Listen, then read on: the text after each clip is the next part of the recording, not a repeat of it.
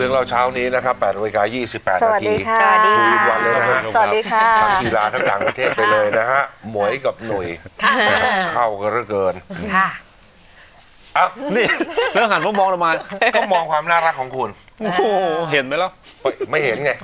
อะ ไปดูนะฮะ วันนี้มีแขกรับเชิญจากกองทัพบบกเนี่ยนำเยาวชนในโครงการบทเพลงรักแห่งแผ่นดินปีที่สอง มาเยี่ยมเรานะคะ เป็นน้องๆ คณะเยาวชนในโครงการนี้ค่ะ นะฮะ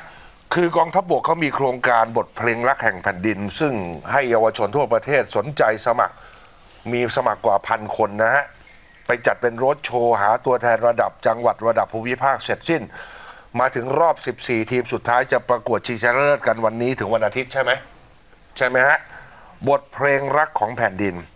นี่ครับ งานประกาศทีมชนะเลิศเนี่ยวันอาทิตย์นี้บ่ายสองโมง ผู้บัญชาการทหารบกพลเอกประยุทธ์เป็นประธานในพิธี ดูข่าวแล้วอย่าไปกลัวท่านไม่ดุ นะฮะเดี๋ยวดูข่าวเลยนึกว่าท่านดูข่าวเยอะแล้วนึกว่าท่านดุค่ะ ขอสักท่อนหนึ่งสิสักท่อนหนึ่งไหมได้ไหมอ้าว หนึ่งสหนึ่งสองสาม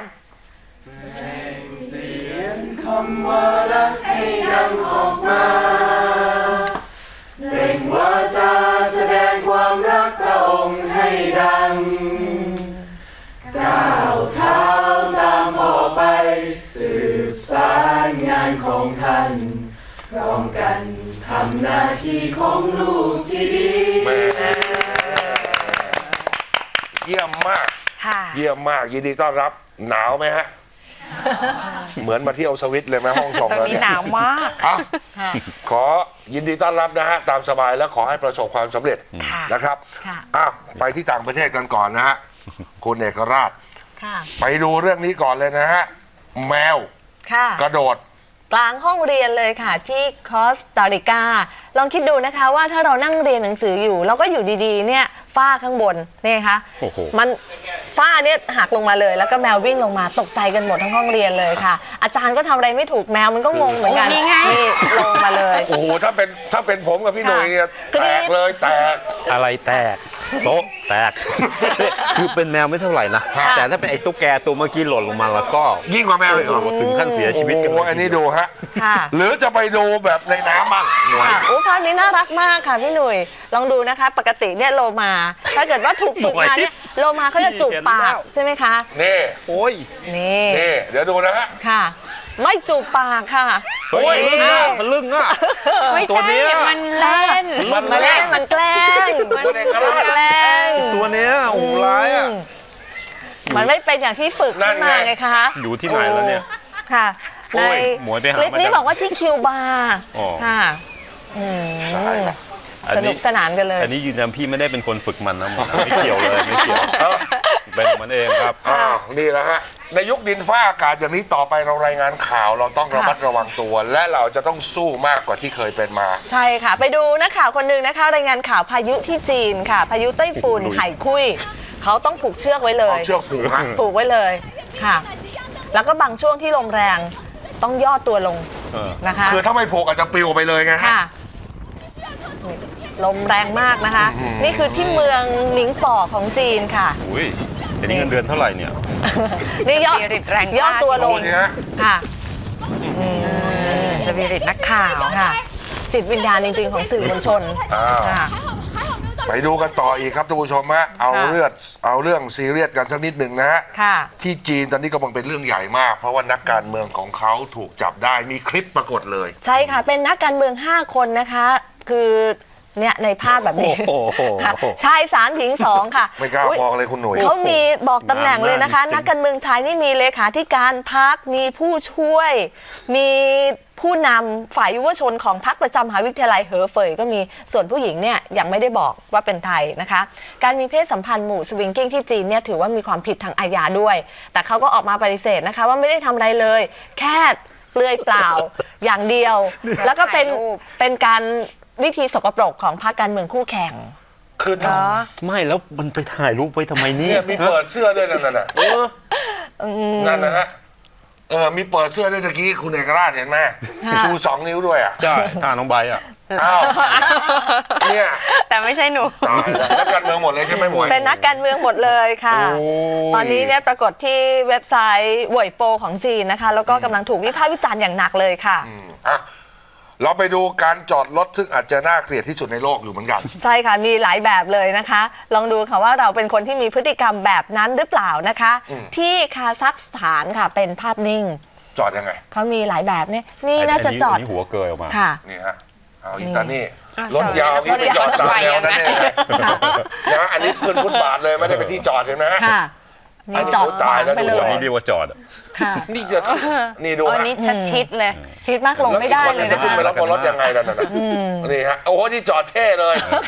คันเดียว โอ้ยค่ะนี่เป็นกระบวนการจอดที่น่าน่าเกลียดใช่ไหมที่เขาใช่รวมค่ะภาเขาพรวบรวมมา เพราะว่าทนไม่ได้กับพฤติกรรมแบบนี้ถ้าผู้ชมที่อยู่ในเมืองไทยใช้แอปพลิเคชันเรื่องเล่าเช้านี่ให้เป็นประโยชน์หรือที่ค่ะเว็บไซต์ ท่านพบเห็นการจอดรถน่าเกลียดกรุณาถ่ายแล้วส่งเข้ามาค่ะเรามีทั้งทางแอปพลิเคชันผ่าน iPhone ใช่ไหมฮะค่ะ และล่าสุดมีแอปพลิเคชันผ่าน Android แล้วนะฮะ ใช่ อย่างที่หลายคนรอเข้าไปที่เขาเรียกนะฮะ Play อะไรนะคุณเอกราช Play Store Play Store นี่ แต่อันนี้นะฮะเราโหลดแล้วนะคะ แต่ถ้าคุณผู้ชมเข้าไปก็เข้าไปในนี้เลย นั่นแหละฮะท่านผู้ชม ส่งเข้ามาเออเดี๋ยวจะประกวดกับเขาเหมือนกันค่ะการจอดรถน่าเกลียดเนี่ยคุณเคยคุณเคยเห็นอย่างนี้ไหมอะไรอะสมมติมันมีอยู่สองช่องใช่ไหมหมวยค่ะและไอ้นี่จอดอยู่ตรงกลางเลยอะอะคือเส้นตรงกลางแบ่งระหว่างสองช่องน่ะแทนที่จะได้สองคันอย่างเงี้ยนะค่ะใช่เหลือคันเดียวนั่นแหละเยอะอันนี้คอนโดผมโอ้เจอมาแล้วแล้วค่ะถ่ายเลยถ่ายเลยถ่ายรูปถ่ายเลยค่ะเราสนับสนุนเรื่องอย่างนี้ยอดอะค่ะสนับสนุนนะฮะอะอีกสักเรื่องหนึ่งต่างประเทศแล้วก็แล้วกันนะฮะไปดูครับว่า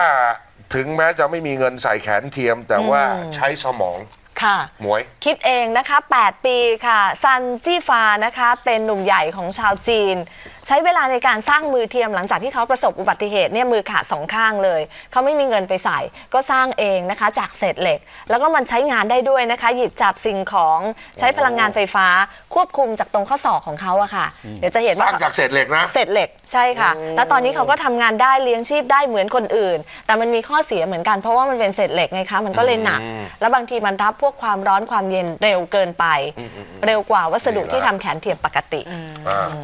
เดี๋ยวดูเวลาแล้วยังมีต่างประเทศอีก เดี๋ยวค่ะสลับกลับมา เพราะไปที่กีฬาสักนิดหนึ่งก่อนนะฮะค่ะอ่าคุณเอกราชคุณมีอะไรเป็นไฮไลท์ของวันนี่นี้เดี๋เรายววันนี้ต้องออกตัวก่อนนะคือถ้าผมอ่านๆแล้วดรอปเหมือนเหมือนเจ้เมื่อวานนี้อย่าแปลกใจผมไม่ได้เป็นอะไรนะฮะแต่มันหนาวมากเลยวันนี้หนาวจริงๆนะปากมันจะสั่นเนี่ยค่ะมีอัปเดตตลาดนักเตะครับท่านผู้ชมครับโอ้โหโรบินฟานเพอร์ซี่ RVP นะครับที่กำลังจะย้ายจากอาร์เซนอลไปแมนยูนะครับย้ายแล้วค่าตัว 24 ล้านปอนด์เอ่อจ่ายจริง 22.5 ยังไม่ได้เซ็นนะแต่ตรวจร่างกายแล้วนะครับเนี่ยอันนี้เป็นเป็นภาพของการไปตรวจร่างกายเสื้อเล็กจะมื่วานส่งนี้ลงวันจันทร์ทานนี่เลยเอ่ออะวันคืนวันจันทร์แมนยูเจอเอเวอร์ตันซึ่งวันนั้นเนี่ยแมนยูน่าจะมีฟานเพอร์ซี่นะครับ ก็บอกว่าน่าจะเซ็นกันวันเนี้ยใช่ น่าจะเซ็นกันวันนี้นะครับอาร์เซนอลก็ออกมายอมรับว่าจำเป็นต้องขายฟานเพอร์ซี่ให้แมนยูนะครับเพราะนักเตะเหลือสัญญาแค่ปีเดียวนะครับ แล้วก็คือเขาเนี่ยไม่ได้เดือดร้อนอะไร จะไม่หาใครมาแทนฟานเพอร์ซี่ เพราะว่าซื้อลูคัสพโดสกี้กับ โอลิวิเยร์ชิรูเข้ามาแล้วนะครับ ความจริงอยากจะขายให้กับทีมอื่นอย่างปารีสแซงต์แชร์กแมงมากกว่าแมนยูแต่ไม่มีทางเลือกนะ ขณะที่เซอร์อเล็กซ์เฟอร์กูสันนะครับ ออกมาแสดงความมั่นใจทันทีว่าแผงกองหน้าแมนยูฤดูกาลนี้เนี่ยดีพอๆกับชุด 3 แชมป์ปีใครบ้าง1999ลูนี่มีทั้งฟานเพอร์ซี่รูนี่ชิชาริโตแดนนี่เวลเบกสี่คนนะครับเทียบกับปีเบอร์บาตอฟ99เบอร์บาตอฟไม่ต้องไปนับหรอก ปี 99 มีเดอะไวท์ยอร์กแอนดี้โคลเท็ดดี้เชอริงแฮมและโอเลกุนนาร์โซลชา ถือว่าทัดเทียมยอดเยี่ยมพอๆกันนะครับ ฟานเพอร์ซี่กับรูนี่เนี่ยคือ 2 ดาวยิงสูงสุดของพรีเมียร์ลีกฤดูกาลที่แล้วนะคือได้เบอร์หนึ่งเบอร์สองที่ยิงประตูมากที่สุดเนี้ยมาเล่นร่วมทีมกันเดียวกันเดียวกันนะขณะที่แฟนบอลอาร์เซนอลอันนี้แน่นอนครับโดยชมครับ พากันโกรธแค้นพร้อมใจกันเผาเสื้อฟานเพอร์ซี่นะครับ แล้วก็ถ่ายคลิปมาลง YouTube เนี่ยมากมายฮะ นี่ทำแบบตอนที่ใครบางคนย้ายออกจากลิเวอร์พูลอะ บางคนเอาไปฝังดินนะ ไม่เผาไปฝังดิน ก็เป็นธรรมดา เนี่ยครับ มันเป็นวิถีอะคุณเอกราช เอ้ยผมเข้าใจนะคืออายุ 29 แล้วอะเข้าใจฟานเพอร์ซี่ใช่ไหมเข้าใจแล้วอยู่กับอาร์เซนอลมาตั้ง 8 ปีนะใช่ ครับมันก็ถึงเวลาที่ต้องไปนะครับ อืมแต่มันมาคือไปในช่วงหลังจากปีที่ดีที่สุดไงแล้วไปในชีตอยู่ทีมคู่แข่งปรับใช่โมดริชไปแล้วใช่ไหมลูก้าโมดริชกำลังจะได้ย้ายจากสเปอร์ไปเรอัลมาดริดนะครับหลังจากเรอัลยอมเพิ่มค่าตัวให้เป็น 30 ล้านปอนด์คาดว่าจะตรวจร่างกายและ ตกลงสัญญากันภายในวันเสาร์อาทิตย์นี้นะครับ โดยสเปอร์เตรียมติดต่อชูเอามูตินโญ่ของปอร์โตกับยานเอ็มวิล่าของแรนส์มาแทนนะครับ ส่วนลิเวอร์พูลกำลังจะได้นักเตะใหม่เป็นปีกทีมชาติโมร็อกโกครับเขาเป็นใครมาจากไหนไม่มีใครรู้เขาคือโอซามาอัสไซดี โอซามาอัสไซดีเป็นนักเตะไม่ใช่ผู้ก่อการร้ายนะเป็นเป็นนักฟุตบอลนั้นปีก ทีมชาติโมร็อกโกนะครับมาจากเฮเรนวีนของฮอลแลนด์นะครับเตรียมตรวจร่างกายแล้วนะครับส่วนค่าตัวไม่เปิดเผยฮะอายุ 24 ยิง 20 ประตูจาก 68 เกมให้กับเฮเรนวีนจะเป็นนักเตะใหม่คนที่ 3 ของลิเวอร์พูลนะครับต่อจากฟาบิโอบอรินีและโจอัลเลน